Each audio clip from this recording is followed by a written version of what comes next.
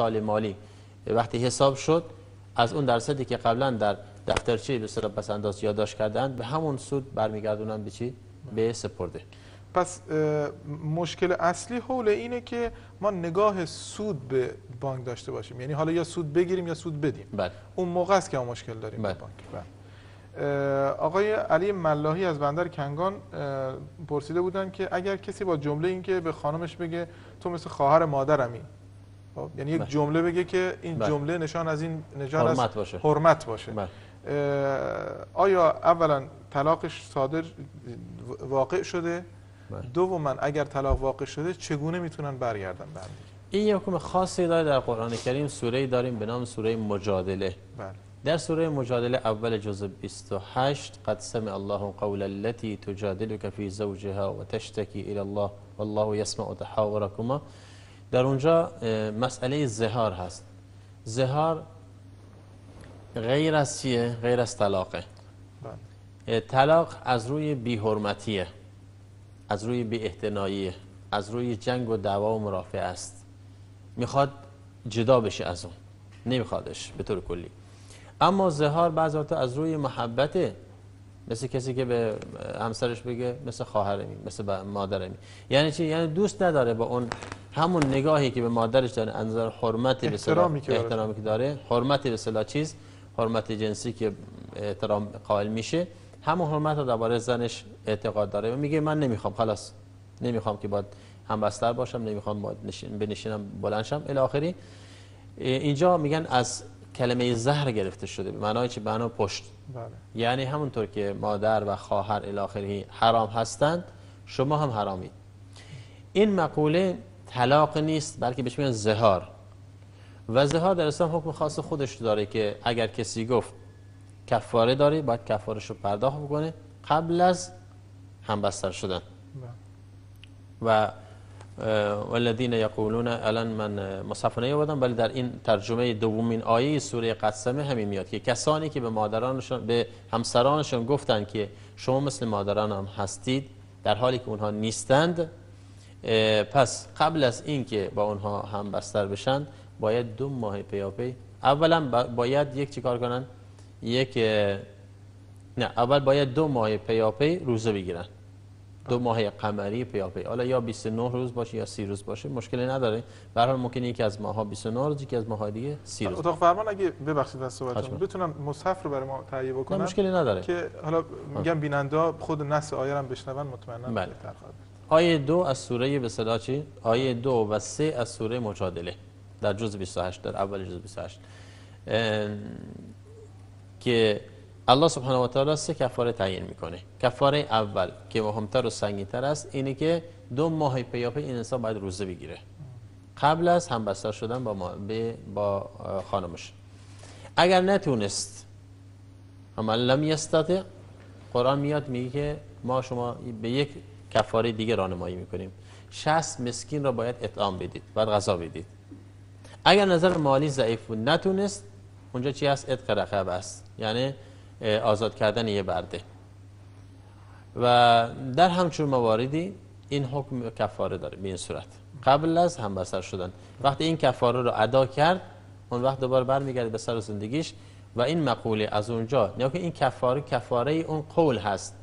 اون سخن نازیبایی است که برای چیزی را که حلال بوده برای خودش حرام کرده. نکنید؟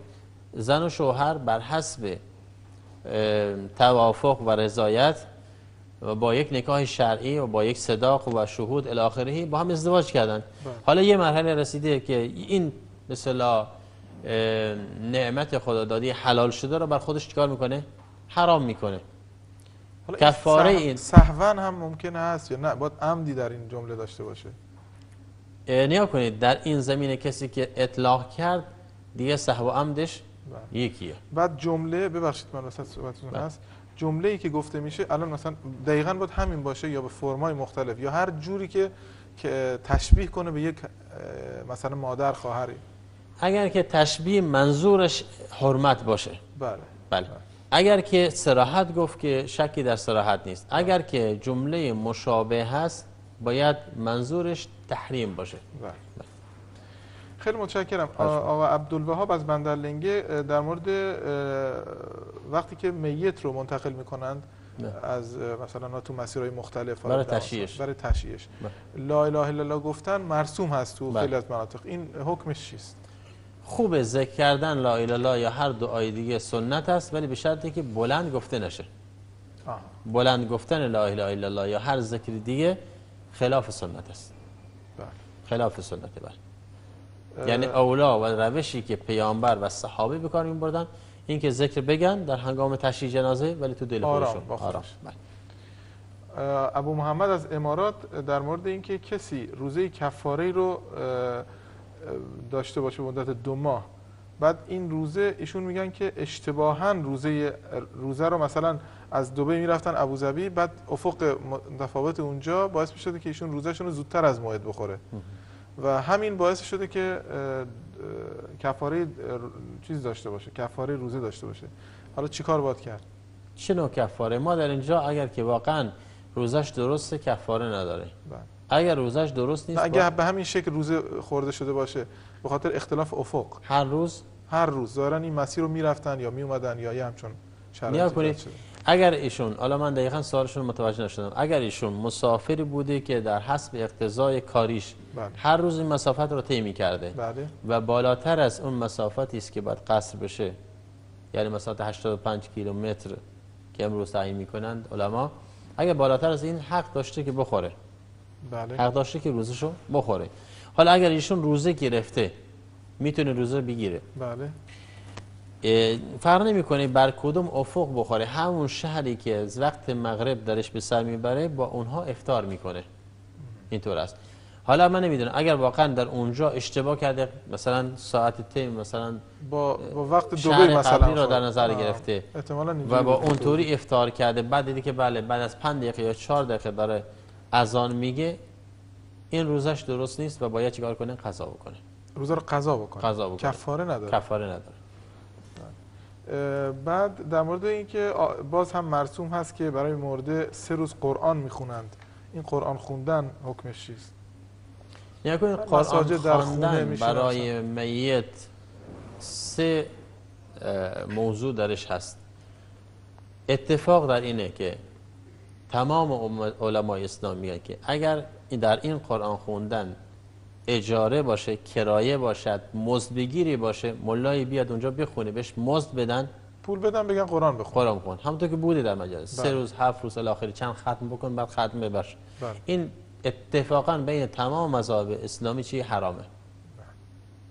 حرامه. برعکسش اگر کسی از خیشان و بستگان فرزندان نوادگان الی آخره بخوان تطوعا بخونن اتفاقا این می‌رسه به میت. ما نیتشو بکنیم نیت نکنیم. ما بگیم این ثواب این قرائتی که امروز می‌خونیم به میت برسه یا نرسه. چرا؟ چون ما نوادگان و فرزندان اون میتی هستیم که ما را اینطور ساله به بار آوردن. و ما امروز به فضل الهی و سپس با چی؟ با توفیقی که اونها داشتن و ما راهنمایی کردن. حالا از خوبی اونها ما هدایت شدیم ما قرآن خون شدیم. ثواب ما به خودمون که می‌رسید به اونها هم می‌رسید این حالا نه فقط این سه روز هر وقت بخونن اینجوری. آره. این دو طرف قضیه درش اتفاق نظر هست. بله. یعنی اونهایی که کرایه بگیر هستن اجری که ندارن هیچ گناه هم دارن. بله. اونایی که مزد بگیر نیستن تطوعا می‌خونن یعنی از پیش خودشون می‌خونن دل بخواهی می‌خونن. نزد- اگر خیشان و نزدیکان و وابستگان هستن به طور طبیعی به ثواب میت می‌رسه. بله. چه در همچون مجالسی باشه چه در مساجد باشه چه در آخر الاخری حالا گروه سومی حالا گروه سوم در این میانز است. خلاف در اینجاست بین امت اسلامی بین فقهای امت اسلامی بله. که آیا در مجلس اعضا مرسوم هست قرآن بذارن جز جز بذارن؟ مردم که میان در حضور برای مثلا تعذیه گفتن خونده بشه؟ خلاف درش هست حقیقتا. از بین فقها از قدیم تا به امروز خلاف هست. ولی اون چیزی که من می‌خوام در اینجا عرض کنم اینه که سنت پیامبر اکرم صلی الله علیه و سلم نیست. حتی علمایی که تجویز کردن که قرآن خونده بشه نگفتن که این سنت پیامبر است. نگفتن این سنت صحابه است. نگفتن این سنت تابعین هست. گفتن این خوب خونده بشه. در مجلس اشکال نداره. اشکالی نداره. حالا اگر ثواب نرسه گناهی هم درش نیست. ولی اونهایی که من کردن از